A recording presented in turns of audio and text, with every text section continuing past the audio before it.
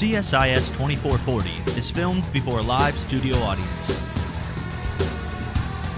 Right now that we got this Karel thing done, I've made a copy of it because I want to modify some things that are in the code here slightly. Because the way it's written right now, we look here in the script and for example, we have this robot controller class, which allowed us on line 15 to instantiate a robot, right? Well, this has in mind the theory or the idea that we might have multiple robots, right? I could make multiple robots and that wouldn't be that hard. I could just do another one of these and call it RC2 or something like that, right? We'd have to change some of the event handling stuff down here to be able to control one robot versus another, but you could make multiple robots. But Karel Robot originally was designed for one thing, to teach you five or six basic commands, which is sort of this fake programming language. We've used Karel for the last little while here to, to build, to learn a different thing about programming. Not to learn some basic commands, but to learn about JavaScript event handlers, okay? Well, Karel in our world is only going to be one robot ever. So in that case, we actually don't need to make a whole class here and instantiate it. We can actually just make an object literal. Okay, an object literal is a lot more compact and we never, we're never going to instantiate it ever. And so a couple videos back, we talked about object literals. So an object literal is just a plain variable, but it holds a whole bunch of stuff. So this is what an object literal is. We can say let robot controller, yeah, equal, and we get rid of all this stuff here, and we just have one set of curly braces. And now, and we get rid of that. So now we have this, it's not quite right yet, but this is gonna be the whole, it's just a variable right here. This, this is an object. And what it looks like is this. We say column is one. That's the column it's gonna start in and we say that row is 10 and we'll say that direction is north. And we'll say that bottom is 18 and left is sorry not equal. Left was 15 and then beeper beeper is 3 and those should not be semicolons, those should all be commas there. So we'll fix that real quick. And that last one doesn't need to be a comma, obviously. I'll fix that in a second. Okay. And get rid of that. Okay, so now we just have this thing called robot controller. In fact, why don't we just call it RC, right? So we don't even need line 13 anymore because we just literally created it right there. That is exactly the same thing as what line 13 used to do. And in fact, we can shrink that up nicely all in one line here, right? Just clean that up. Put some spaces maybe in between those. And now we have this nice little clean thing here. And this is now really, really clean and easy to deal with and all of this code still works. It's still going to be rc.call because we called it rc up here, right? And so pretty much I'll just scroll through and take a peek here and I'm pretty sure nothing else will break so we'll test it out just to make sure but that should work just fine so let's go back refresh check our console for any bugs and nothing yet press the space bar he's moving hang a right move move drop off a beeper cruise around, drop another one, pick it up, hit escape, resets. All with that little object. Now, because we did that, think about this. This whole line right here, well, when it's, yeah, when I, when I go to reset Karel, all I got to do is just call that again. Just set it again, right? It's back to the exact same values, okay? Okay, so that's one nice little thing.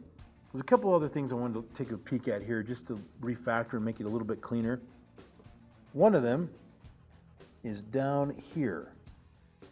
This event here where we're saying class name equals north and then we're setting the direction here. We can clean that up slightly. What if we renamed our classes to just the letter N, East, South, West? And then right here, we set this, and then afterwards, we set the class name. Right? So when we're done with this case statement, we just do the class name once. Karel.classname is equal to rc.dir. Right? Because we set, right, we set it right there. So that means we don't need this. That's a lot less code, duplication, calling the object multiple times, right? That saves us a little bit of space and time, okay? And again, let's just make sure we didn't break anything here. Space moves it, hang a right. Oh, my right is not working. Let's do a hard refresh just to make sure. Turn right. Oh yeah, it must have been that. Space, space, hang a right. Yeah, I just didn't hard refresh it. Hang a left, space, pick it up, go up, go down, drop a beeper, escape, looks good. So just clean up the code a little bit, right? There's lots of little things like this that you can do if you think through your code and go through it and and just you know play around with it, right?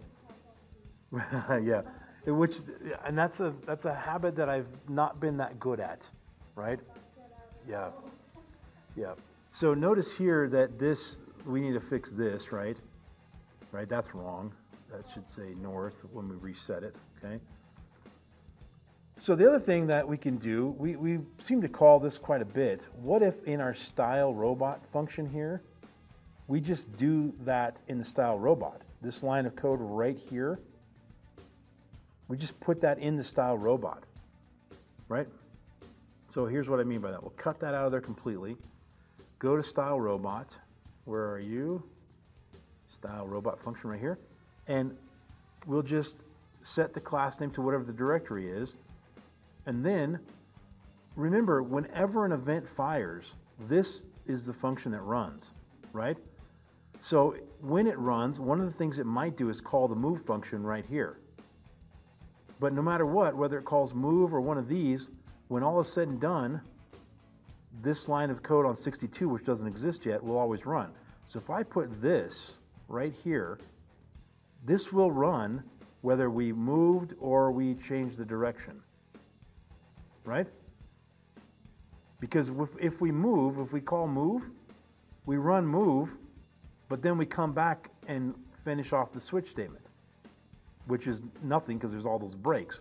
So the moment move does its job, then we break out of the switch and we end up on line 62. Right? So having it in the move function is just redundant. Okay? But now style robot, what does it do?